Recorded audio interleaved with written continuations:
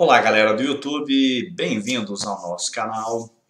E no vídeo de hoje você vai aprender um pouco sobre como fortalecer os ombros para fazer ataque no voleibol.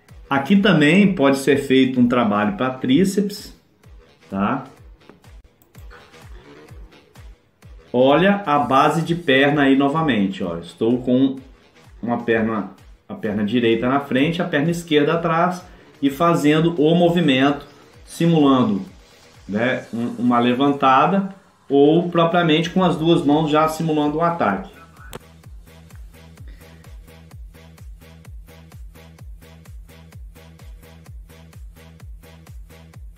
Este trabalho serve para todos os atletas do voleibol, mas o mais importante é o trabalho para levantador. Fazer uma remada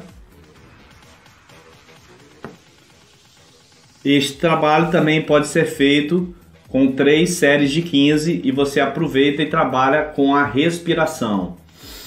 Puxa o ar pelo nariz e solta pela boca.